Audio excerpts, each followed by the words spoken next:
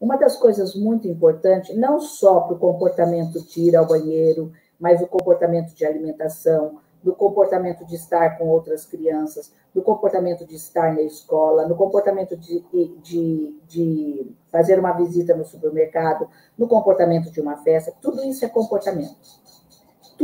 Todos os comportamentos são ações que nós fazemos: correr, saltar, pular, brincar, ir ao banheiro, ir à cozinha, comer, tudo isso são ações. Só que a nossa criança autista, aquilo que eu sempre falo, ela precisa criar memórias. Ela não sabe ainda, ela faz, tá? Eu não sei qual a idade do seu filho, mas a dica que eu dou é que te... e às vezes alguns pais falam assim, professora, eu já fiz todas as dicas e o comportamento não mudou.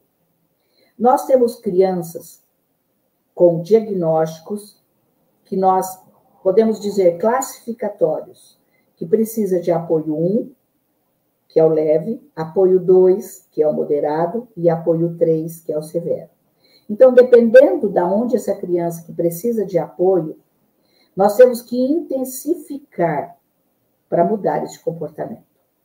Para não deixar ele crescer mantendo esse comportamento alterado.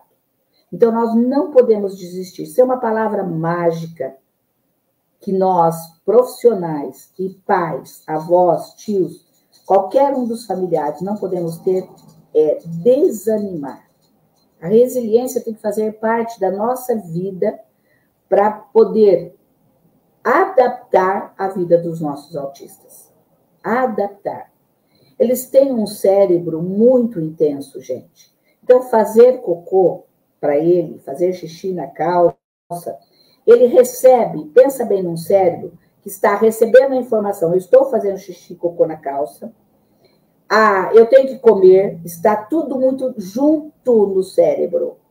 A intensidade de todas as ações que eu falo para vocês está neste cérebro.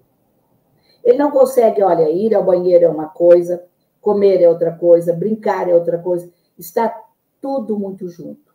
Então, se é, o único caminho que a ciência tem descoberto até agora em todas as abordagens comportamentais que a gente vê, em todas as abordagens cognitivas que a gente vê, o caminho, o princípio de todos esses caminhos é criar memórias, que eu tanto falo. Eu vou falar sempre, porque assim, quando eu crio memórias, eu mudo o comportamento.